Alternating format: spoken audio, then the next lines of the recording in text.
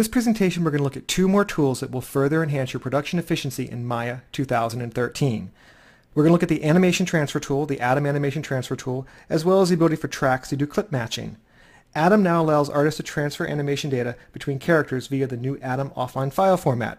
It's another element of the new Open Data initiative at Autodesk.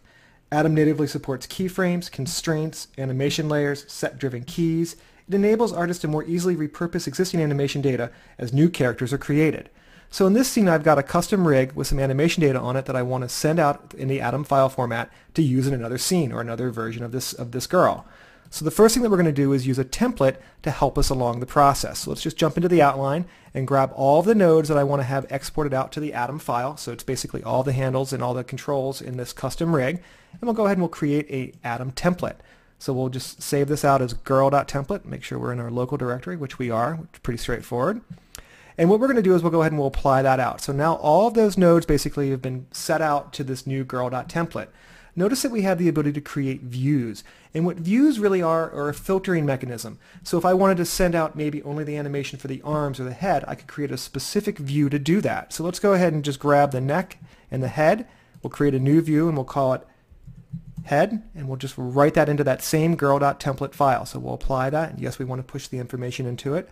The next thing that we're going to do is create another view for the arm. So we'll grab the controls for the shoulders, the pole vectors on the elbows, as well as the IK handles on the hands and we'll call this one arm. So we'll go ahead and we'll apply that. So now that we've done that, we're ready to send this character out into the Atom file. The first thing that I want to do before we get there is just go ahead and add an animation layer onto this. So let's just go and create a new animation mm-hmm. layer of our girl. We'll kind of set a bounding key at the front and end of that animation and we'll make her do a pretty drastic drop as she walks down so that you can really clearly see that, that animation layer come across in the Atom file. So there she goes. She kind of does that little weird drop in the middle of that. So let's go ahead and export this animation out. So in this example, we're going to call, just make sure we're going to our local directory call it walk. We'll overwrite that file. So one thing that's important to look at here is we're going to send out animation layers as well as static values. So if I had that control, that global offset, maybe positioning my character somewhere and I didn't keyframe it, the static values will come across. We'll go ahead and we'll use a template file that's already set up here, girl.template. Notice that in the views I could go ahead and use this to filter the animation data out. Now really what I'm going to do in this example is I'm going to write everything out that we originally set in that template file. I'm not trying to filter it. I'd rather have all the information in the template file because I also have the ability to use the view on the import so we can filter data both on the export as well as the import of the animation that's stored into the Atom offline file. So let's go ahead and we'll just apply that. It takes just a second to send it out. We can close this down and jump over to another version of Maya here.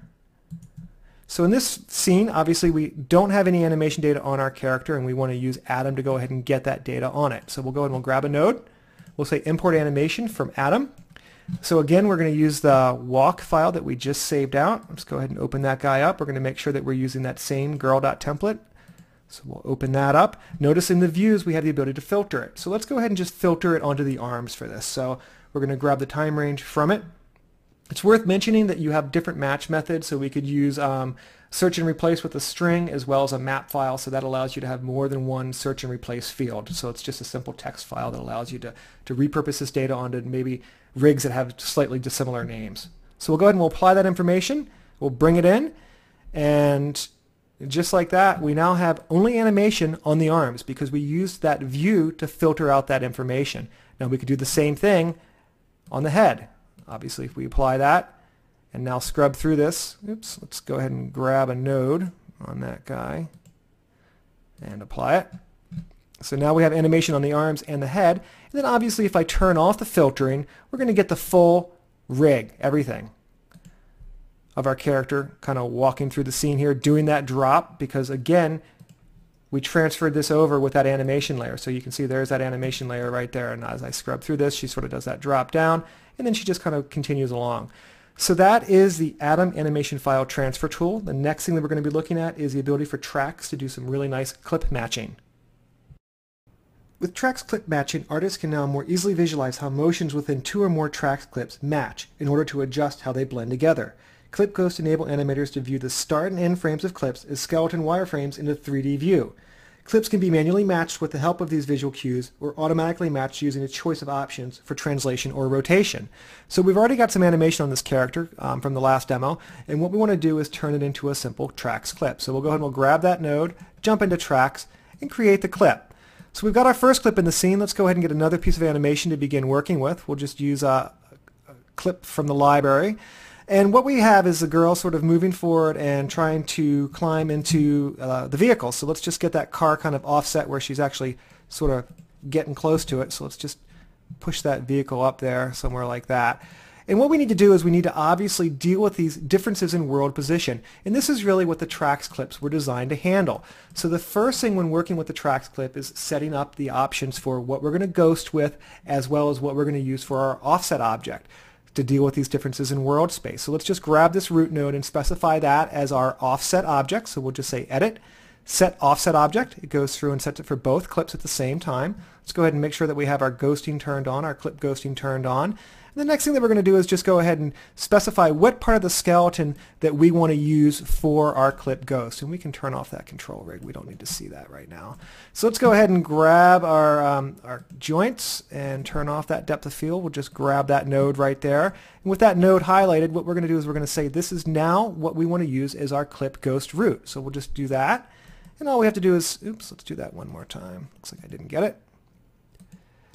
So we'll say clip ghost root and turn on that clip ghost. So the clip ghost, again, show us our first and last frame of every clip.